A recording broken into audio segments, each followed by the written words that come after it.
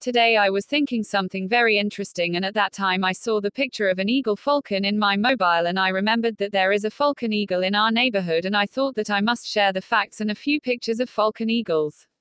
All these birds kill prey with the beaks, using a tooth on the side of the beaks.